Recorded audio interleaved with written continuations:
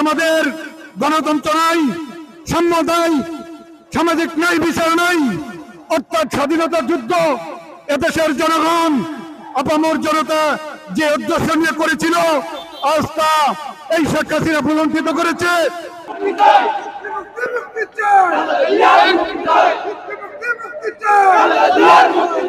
একটা নির্দলীয়, নিরপেক্ষ সরকারের অধীনে নির্বাচনের ব্যবস্থা করতে পারছি, ততদিন পর্যন্ত আমরা এই রাজপথ ছেড়ে যাচ্ছি না।